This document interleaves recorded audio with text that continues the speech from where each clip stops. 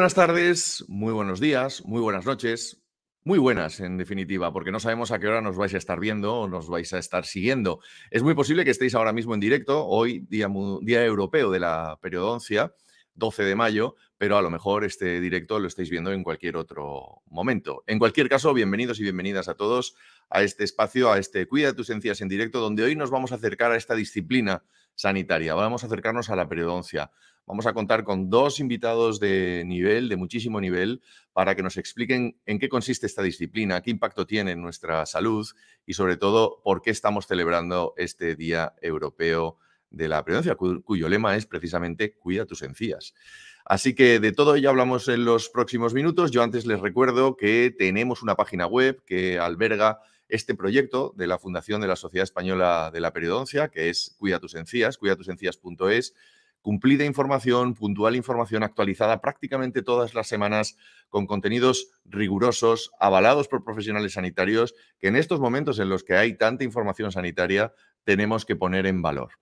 Eh, también pueden eh, suscribirse ustedes al newsletter directamente en la página web, además en las últimas semanas con algún premio para todos aquellos y aquellas que quieran eh, tener la información de Cuida tus encías en su correo electrónico y en definitiva un proyecto para acercar la importancia de la salud de nuestras encías, porque como siempre decimos, la salud empieza por nuestra boca. Hacemos una pequeña pausa, vemos tres consejos comerciales y arrancamos la entrevista.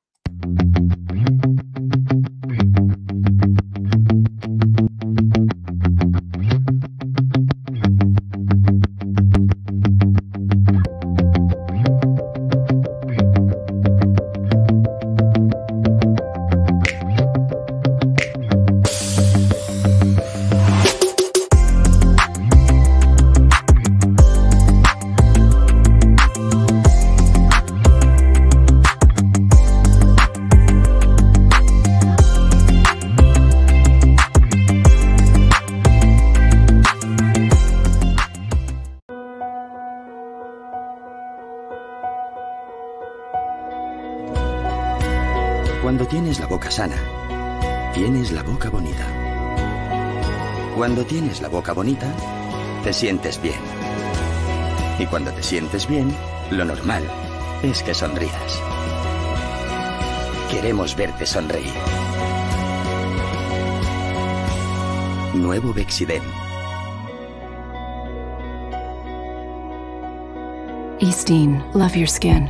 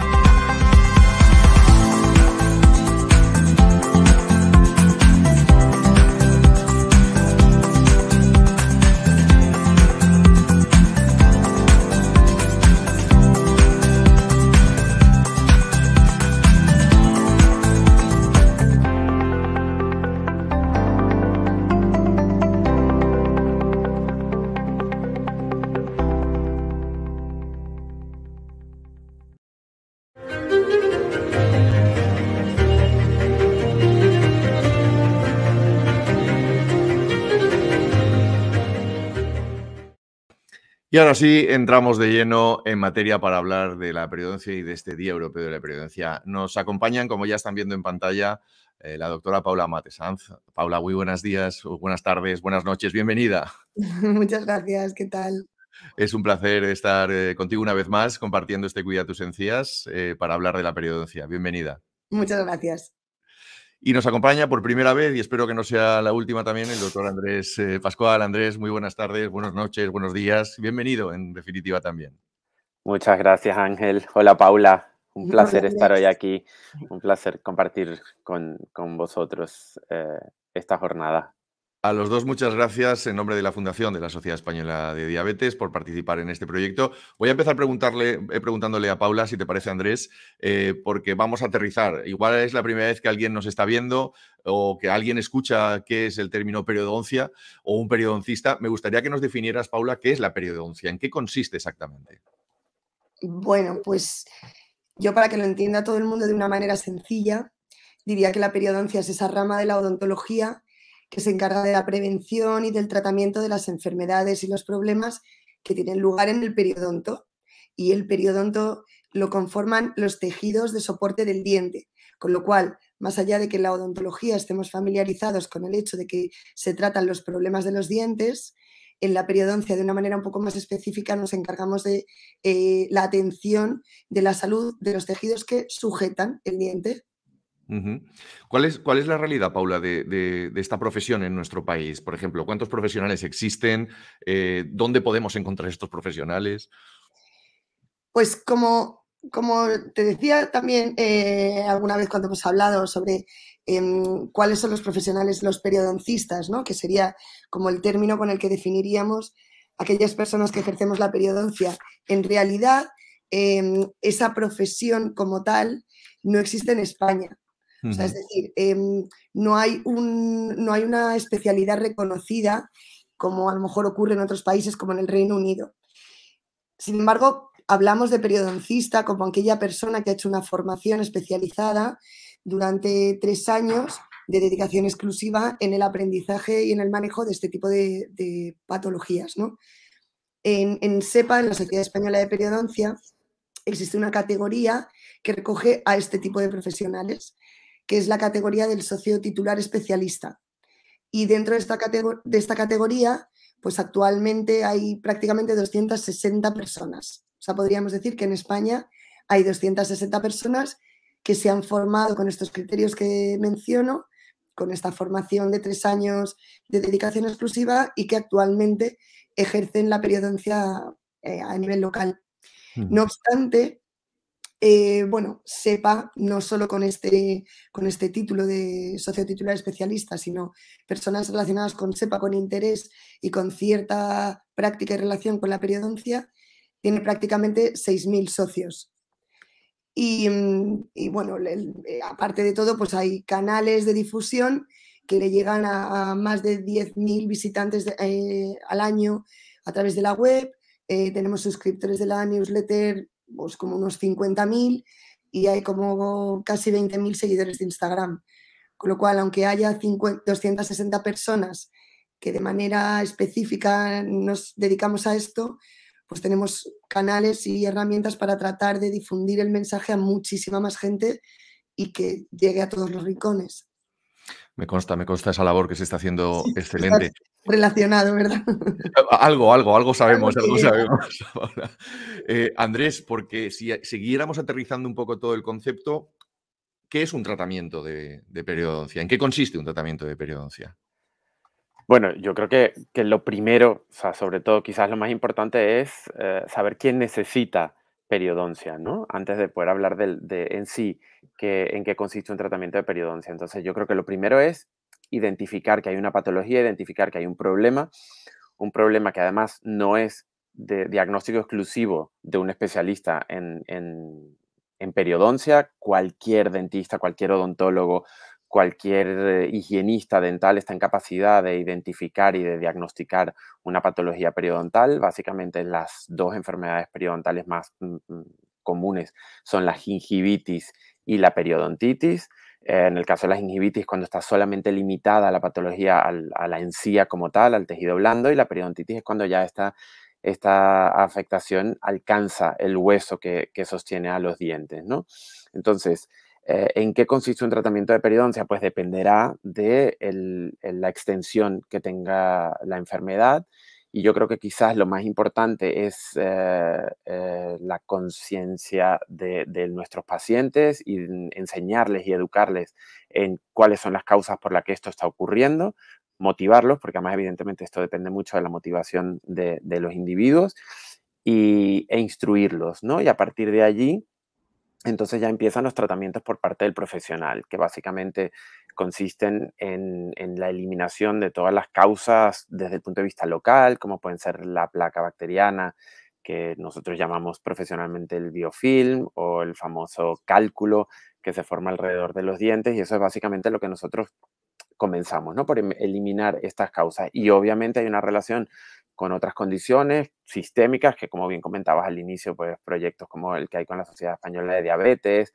porque son enfermedades que tienen relación, pues también hay que estar en contacto con otras especialidades, como los endocrinos, pues como podrían ser también los obstetras o podrían ser los cardiólogos, porque hay que revisar todas las posibles interacciones que pueda tener la enfermedad, ¿no? Pero básicamente, para no enrollarme y no hacerlo tan largo, pues eh, nuestro trabajo consiste en, el tratamiento de periodoncia, perdón, consiste en eliminar los irritantes locales que están causando la patología, tanto por arriba de la encía como los que se, los que se han formado por debajo de las encías. Y que ya afectan a, la pieza dental, como comentabas, ¿no? más que nada a los tejidos de soporte de la pieza dental. y entonces al, al, perderse esos tejidos de soporte, pues ya el diente no tiene cómo sostenerse y por eso podemos llegar hasta la pérdida dental. Eh, Paula, eh, decía André, eh, decía el médico que, Andrés, perdón, que tenemos que aprender a identificar como pacientes un poco estos signos ¿no? de, que podemos tener una periodontitis, una gingivitis. A nivel usuario, ¿cuáles podrían ser esas señales de alarma? ¿Cómo podemos identificar ese problema? Pues no es difícil y además el problema es que muchas veces las señales de alarma son tan frecuentes que la, la persona que las sufre por frecuentes las entiende como normales. Y sin embargo hay señales que nos hablan claramente de enfermedad y que eh, uno puede identificar en su día a día cuando se cepilla los dientes, como es en primer lugar el sangrado de las encías. El sangrado es tan habitual que muchísimos pacientes no lo tienen ni en consideración, sobre todo porque otras personas de su casa también lo sufren y piensan que es algo habitual, que probablemente muchos piensan que es traumático, de hecho, muchos pacientes llegan a la consulta y te dicen, me ha estado sangrando, pero yo creo que es porque me hago daño. Con... mucho. Efectivamente. Puede ser, puede haber un sangrado traumático, pero no es lo habitual. Lo habitual es que el sangrado sea una señal de la inflamación de esos tejidos de soporte. Eh, existen otros muchos signos, como puede ser el mal sabor de boca, la halitosis, las encías inflamadas, la sensación de tener los dientes flojos, los dientes móviles o incluso a veces la aparición de espacios entre los dientes que hacen que se retengan restos de comida en zonas donde un tiempo atrás no lo hacía. Entonces, todas estas señales, en alguna medida, podríamos decir que casi cualquiera las hemos notado en alguna ocasión, no todas, porque además tienen distinto, distinto significado y distinto nivel de gravedad o de importancia, podríamos decir, pero de alguna manera casi todo el mundo alguna vez en su vida ha notado alguna de estas señales y tendrían que hacerle a la persona que las tiene preguntarse qué está pasando, como probablemente por sí solo no va a ser capaz de encontrarle una solución una explicación, la recomendación indiscutible es que acuda a su dentista para que lo, lo evalúe y vea qué está pasando y qué solución se le puede aplicar. Y Andrés, ahí entráis eh, con diferentes propuestas, entiendo, ¿no? Eh, ¿Cómo es un tratamiento, por ejemplo, de periodontitis y cómo sería un tratamiento de gingivitis? ¿Cuánto dura? Eh, ¿Cuáles son los primeros pasos? Descríbenos un poquito cuál es ese proceso, por favor. Bueno, como comentaba antes, dependerá de la extensión de la enfermedad, ¿no? Entonces, si empezamos por la primera fase, que sería claramente una gingivitis, que es afectación de la encía, yo creo que lo primero y lo más claro es que la gente tiene que, las personas debemos tener clara que el tratamiento de la gingivitis, eh, primero que debe ser diagnosticada por un profesional y en segundo lugar, el tratamiento inicial lo tiene que hacer un profesional, tiene que ser la educación eh, las enseñanzas de las técnicas de higiene oral y la motivación al paciente. En el caso de que, de que esta enfermedad ya se haya extendido o tenga más tiempo de duración y se haya convertido en una periodontitis, entonces en este caso sí ya eh, el requerimiento es un poco mayor y el profesional en este caso deberá hacer eh, lo que nosotros llamamos el, el desbridamiento o que en este caso consiste en la eliminación de ese cálculo que se ha formado, ya sea por encima de la encía o por debajo de la encía, y en el caso que se haga por debajo de la encía ya debe ser con anestesia, ¿no? Y es eh, lo que anteriormente la gente conocía con ese nombre de curetaje, que a nosotros no nos gusta, pero quizás sigue siendo una palabra que, permite comunicarnos más fácilmente con los pacientes. Y más o menos ese es el tratamiento. ¿eh? Son tratamientos que no son complejos, son tratamientos que no son dolorosos, son tratamientos que no impiden para nada la vida normal ni regular de nuestros pacientes y por lo tanto Em, debemos eliminar mm, cualquier estigma o cualquier eh, duda que pueda tener una persona, ¿no? O sea, hay que hacerlos y, los resultados de estos tratamientos además son muy favorecedores para la salud eh, oral de los pacientes. ¿Cuáles son esos estigmas, por curiosidad? Eh, ¿Cuál es ese pensamiento que está en la sociedad en común?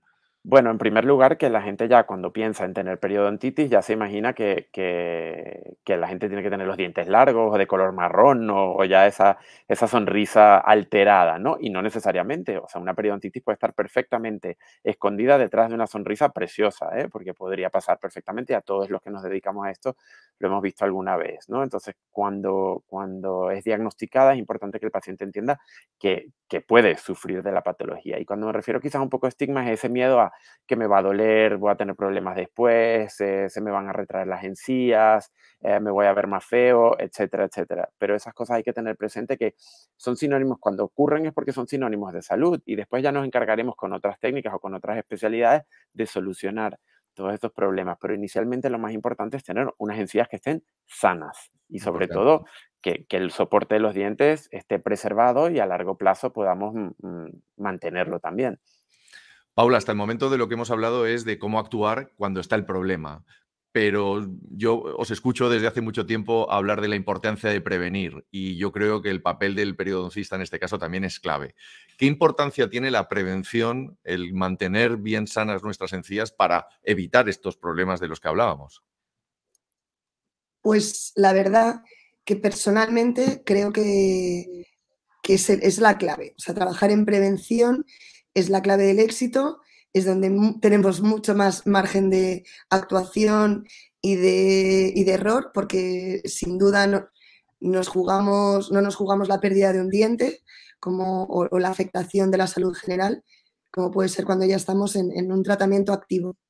En general, en España y como autocrítica, diría que tenemos poca, o sea, poca, no diría poco interés, pero sí poca mentalidad de la prevención y, de forma un poco general diría que siempre vamos, vamos tarde o vamos un poquito a remolque de, la enfermedad.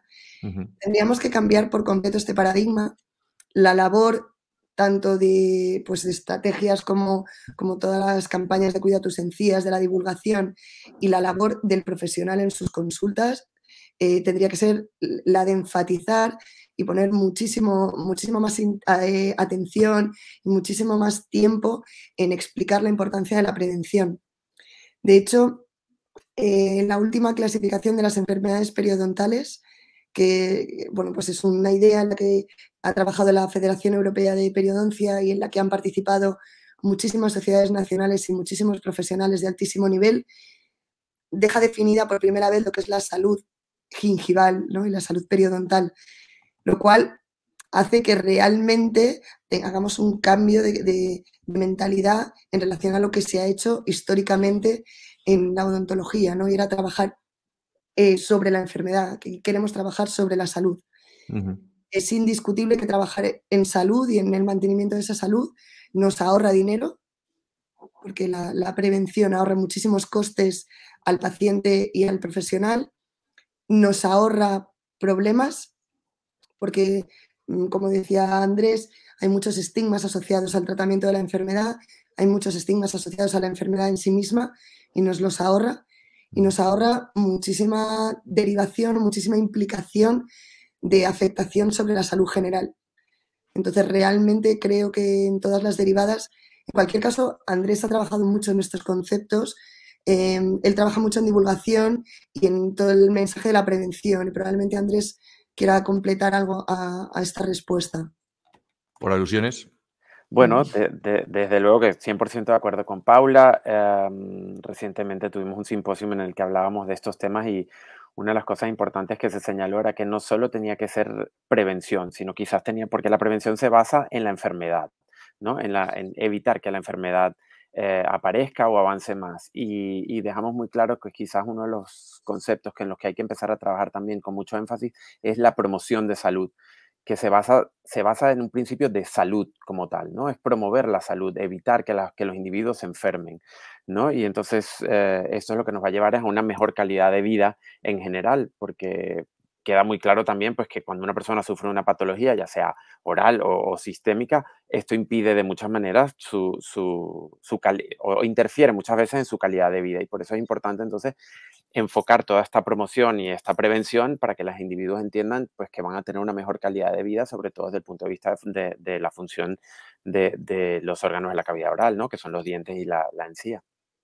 Andrés, eh, una de las frases que utilizamos habitualmente en Cuida tus encías es que la salud empieza por la boca. Y a mí me gustaría preguntarte, al hilo de lo que estás diciendo, porque ya estamos hablando de salud en general, ¿por qué hay esa relación? Eh, vamos a intentar explicarlo de la mejor manera posible para entenderlo. ¿Por qué existe una relación tan directa entre la salud de nuestras encías, la salud de nuestra boca y nuestra salud en general?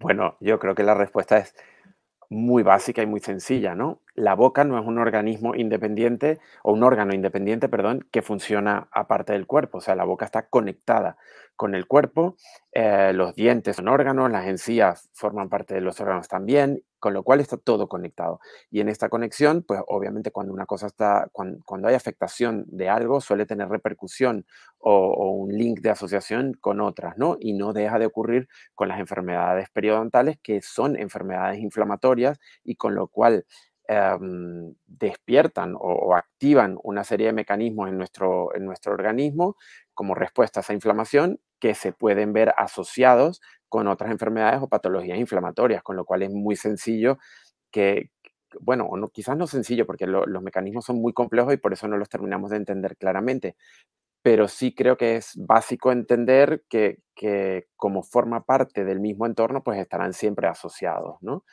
Y de ahí la importancia que consideremos pues que si hay una enfermedad en la cavidad oral es muy probable o es, o es seguramente plausible que tenga relación con otras enfermedades sistémicas de nuestro organismo. Paula, imagino que en este sentido querrás añadir alguna cosa más también, ¿no? Es decir, esa visión holística que, estáis teniendo de, las patologías eh, en las encías.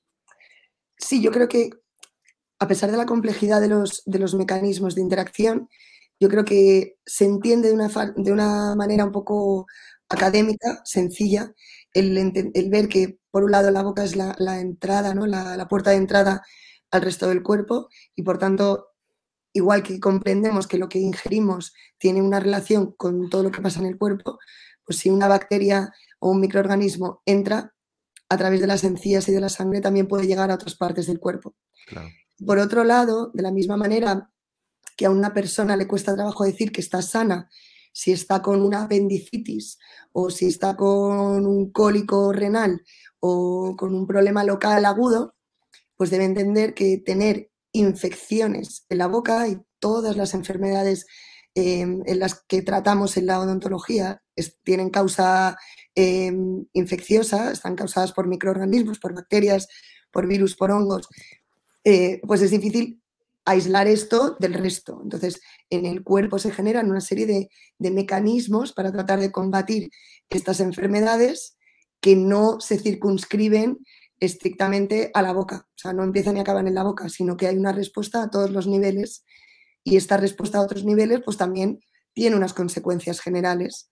Por tanto, tanto por acción directa del, o paso de la bacteria de manera directa como por las em, reacciones que se producen en el cuerpo, pues yo creo que también es una manera de justificar esta o de explicar esta asociación que, como bien dice Andrés, en realidad tiene muchísimas más derivadas en las que se trabaja día a día y las principales investigaciones que se llevan a cabo actualmente van casi todas en esta dirección. Andrés, en ese sentido, como además vocal de difusión e investigación de SEPA, eh, quizás me, atrevo yo a decir, ¿eh? diabetes, Alzheimer, eh, enfermedades cardiovasculares, hay cáncer, evidentemente, ¿serían los cuatro grandes eh, o consideras que hay alguna otra más importante? Hombre, yo creo que quizás las, ah, las más mm, presentes o las que, las que tenemos con, con, más eh, predominancia hoy en día puede ser quizás, como bien comentas, la diabetes eh, y las enfermedades cardiovasculares. Pero sí bien es cierto pues, que hay otras patologías en el caso del, embarazo, los partos prematuros, eh, los bebés de bajo peso neonatal, eh, también puede haber algo de relación en esto. Como comentabas antes, en el caso del, cáncer hay evidencia, el Alzheimer es quizás lo último que, que ha que quizás ha hecho eco tan importante y básicamente es por la presencia de, algunas bacterias en concreto. De momento tenemos todo el foco puesto en una en concreto, que es la, la Porphyromonas gingivalis, pero, pero sin duda yo creo que esta nueva visión, como decías antes, que tenemos una visión holística de la salud del cuerpo, pues yo creo que la visión de la microbiología empieza a cambiar también, porque antes veíamos las bacterias como enemigas, hoy en día empezamos a ver las bacterias también como amigas y como una necesidad en nuestro cuerpo, pues probablemente toda esa asociación bacteriana y esa sorpresa que nos llevamos encontrando ciertas bacterias periodontales en otros órganos del cuerpo o en otros procesos, como podría ser el cáncer, probablemente en algunos años lo entenderemos diferente y, sabremos por qué está tan presente en tantas patologías. ¿eh? Pero a día de hoy, ya digo, o sea, hasta en la urología empezamos a, encontrar asociación con ciertas patologías de, mm, urológicas y, la, y la enfermedad periodontal. Con lo cual yo creo que mientras entendamos mejor y se desarrollen mejor todas las técnicas de diagnóstico y conocimiento, pues cada vez encontraremos más asociaciones con más patologías. Porque vuelvo a lo mismo, es una enfermedad inflamatoria que despierta, o sea, que inicia una cascada de, respuesta inflamatoria y a partir de allí, pues tiene relación con tantas cosas, ¿no? Incluso como hemos visto más recientemente, hasta con la enfermedad del COVID ha habido relación con la enfermedad periodontal. Sin duda, sin duda. Eh, y llegamos al 12 de mayo, eh, Día Europeo de la Periodoncia, que justifica un poco esta conexión que estamos teniendo con Paula y con Andrés en el día de hoy. Paula, tú además formas parte activa de la Federación Europea de, Periodoncistas em, y me gustaría preguntarte por, la reivindicación de este día, ¿no? el objetivo claro del Día Europeo de la Periodoncia. ¿Qué es lo que se persigue con ello? Bueno, efectivamente eh, hay una misión ¿no? de, de toda esta celebración y es tratar de sensibilizar a la ciudadanía de todos estos mensajes de los que estamos hablando en este ratito. O sea, eh, el ciudadano de la calle debe entender eh, cómo pequeños cambios, pequeños, seguir pequeños consejos pueden evitar la aparición o la progresión de las enfermedades periodontales. Entonces, la, bueno, pues toda esta derivada además sistémica que justo acabamos de explicar, yo creo que les hace coger aún si cabe mayor, mayor peso, ¿no? mayor relevancia.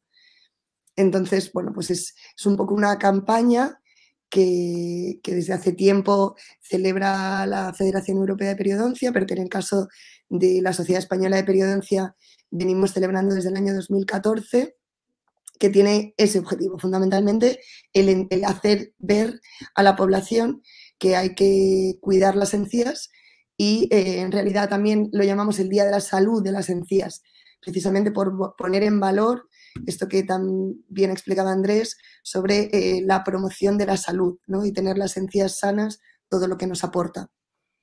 De hecho, el lema de este año, si no me equivoco, es precisamente Cuida tus encías, traducido al, castellano, ¿no? Eso es, es el goteo sobre cuida lo que, lo que es importante y, no dejemos que se estropee porque nos aporta mucho más en salud, sin duda, que en enfermedad.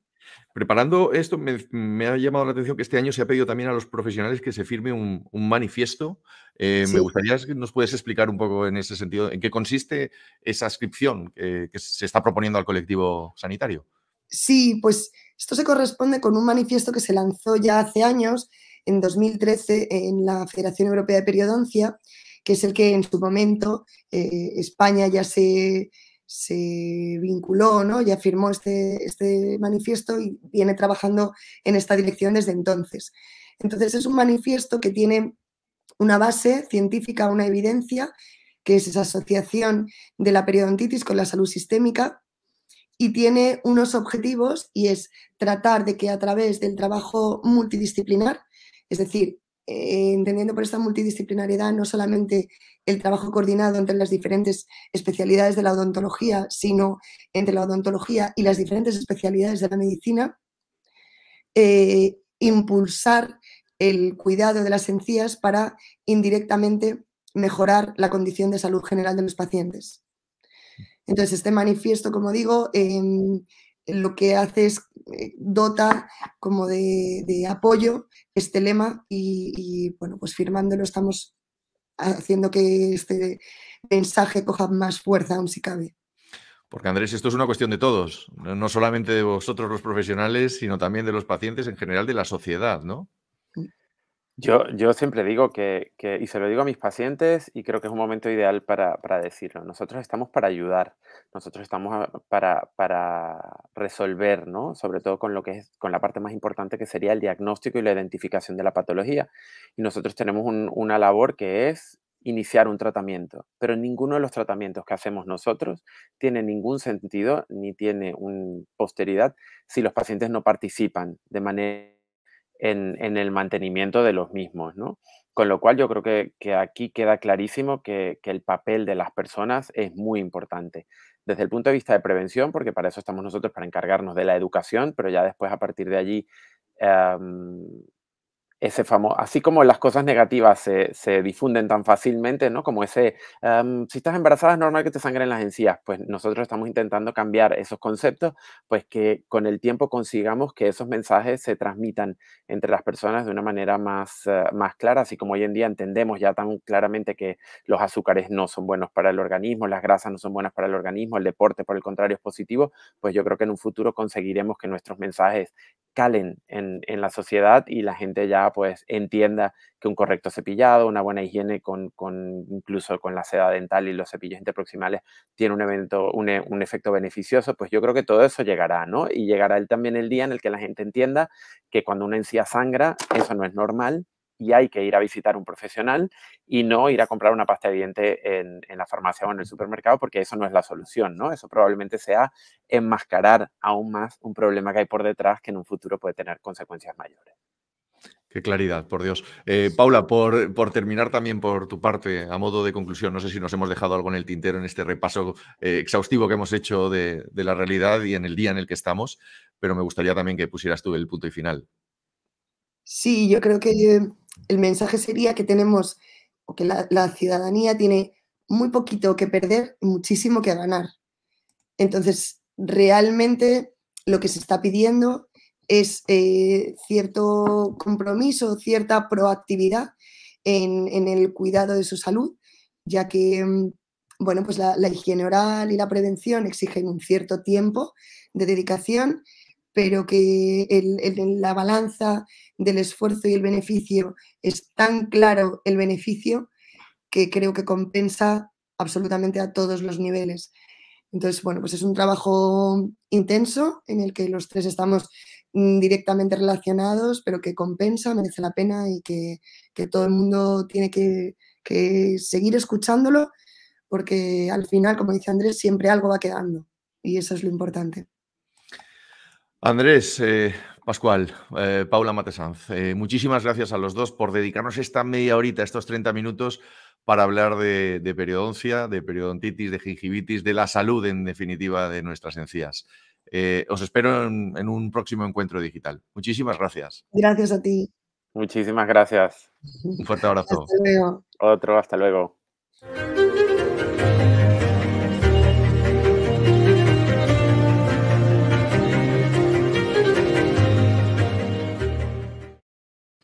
Y a todos ustedes también agradecerles su tiempo, este espacio que espero haya sido útil, que hayan sacado alguna conclusión y recuerden, como siempre, cuidarse y podemos empezar cuidándonos y teniendo una buena salud, una buena higiene oral. Les mando un fuerte abrazo. En unos días volvemos con un próximo directo.